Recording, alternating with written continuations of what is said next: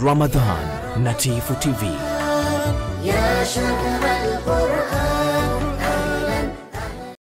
Kamati ya kanuni ya sheria ndogondogo ya Baraza la Wawakilishi imesisitiza umuhimu taasisi za serikali kuendeleza kuratibu na kutekeleza programu za elimu kuhusu kanuni zilizomo katika taasisi zao ili kuweza kutambuliwa na wananchi. Wajumbe wa kamati hiyo chini ya mwenyekiti wake Mheshimiwa Mihayo Jumanunga wametoa rai hiyo wakati walipokutana na wadau wa kanuni za jumla za taasisi ya wahasibu, wakurugenzi na washauri elekezi wa kodi Zanzibar katika kikao kilichofanyika katika ukumbi wa Wizara ya Fedha Vuga mjini Zanzibar. Wamesema ni vyema kuandaliwa mpango maalum wa kutoa hamasa na kujenga uelewa wa kutosha ili kuweza kuhakikisha elimu hiyo inawafikia wananchi wengi zaidi mjini na vijijini waweze kuzitumia kanuni hizo. Viongozi wa, wa, wa, wa Wizara ya Fedha tunashauri nanyi mtumie nguvu kubwa kwenda kuhakikisha mnatengeneza awareness kwa jamii kubwa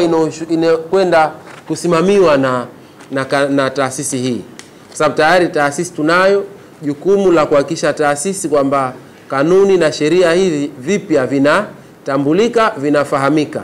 Tuna wahasibu wengi bado hawajajua kama sasa wanakuwa regulated na sheria hii, wanakuwa regulated na kanuni hii.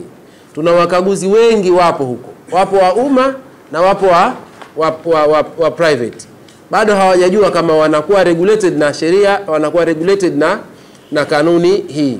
Naye mkurugenzi wa huduma za sheria ofisi ya Rais fedha na mipango, Mheshimiwa Muhammad Fakihi Mzee amesema wizara imezingatia mapendekezo na ushauri wote uliotolewa na kamati hiyo katika kufanya maboresho ya kanuni hiyo kabla ya kuwafikia wananchi. tutajitahidi kadri iliwezekana kutoa elimu zaidi especially katika eneo hili ambalo geni kidogo kwa ajili ya kujenga uelewa na hasa kwa watunga sera kwa maana ya upande upande wenu huku. Asia Wadi, TFTV.